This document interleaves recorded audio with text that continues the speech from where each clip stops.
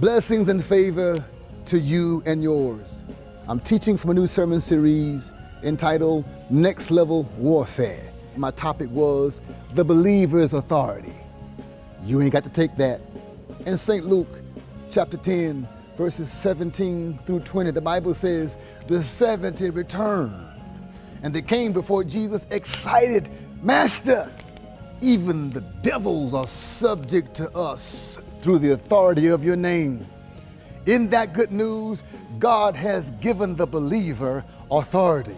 Exercise your kingdom authority, and there's certain things the devil is doing that you shouldn't take. I don't know about you, but I wouldn't take that.